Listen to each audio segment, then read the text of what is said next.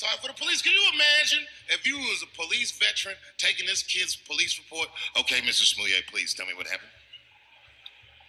All right. 2 a.m. You left the house at 2 a.m. It's minus 16 degrees. Okay. You were walking. You were walking. All right. And and where were you going? Subway. Sandwiches?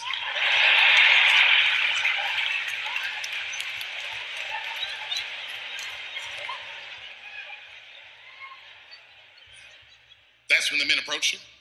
Did you see them? Do you have any? Okay, what, what they have on? MAGA hats! MAGA hats on in Chicago? Excuse me one second, Mr. Smollett. Frank, come here for a second. Find out where Kanye West was last night.